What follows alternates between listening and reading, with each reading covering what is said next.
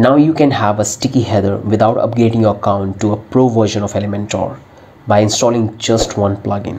What i mean by that let me take you to my computer screen and show you how you can do that. So as you can see this is the website which i have built and this is the top menu. I want to make this sticky. So as i'm using a free version of elementor so i can't do that. So to make this sticky all i have to do let me take you to my backend of my websites. Go to this plugin section click on add new plugin and here we have to search for a sticky header. Header.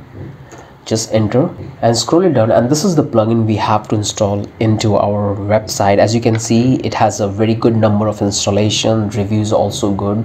So simply click on install now and activate so once the plugin is successfully installed let me take you to my appearance section header and footer builders because this is the plugin which i'm using to build my header customize header. So let me open this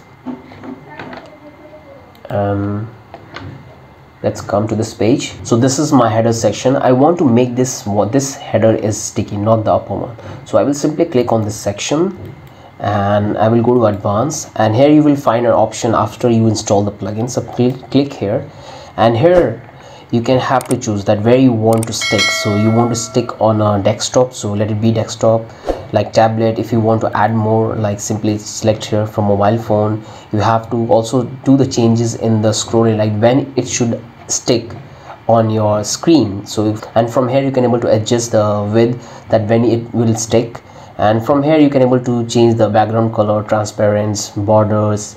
So you can able to customize it as per your requirement so once you're done with that once you activate this enable this sticky option simply click on update and come back to the home page of this website. Let's refresh it and as you can see now we have a sticky header in our website. So this is how you can add a sticky header in your website without upgrading your account to a pro version of elementor. So use this plugin. It has a good installation number good review and many people are using it. So this is how you can add a sticky header in your website. So i hope you have liked this tutorial. If you have any questions any doubt so if you have any questions any doubt leave that in the comment section so i can help you. And recently i have made a complete tutorial on a website development where i have built build a portfolio website templates where I've explained everything about the designing about the resources which are used in that website template. So this is the website which we have built. I hope you'd like it. So I link the playlist in the i button in the description so you can go and you can watch it from cell from your end. So this is the website which we have built in that. So I hope you'd like it. So see you in the next video. If you have any question do let me know in the comment section. And don't forget to like and subscribe to our channel. Have a wonderful day. Bye bye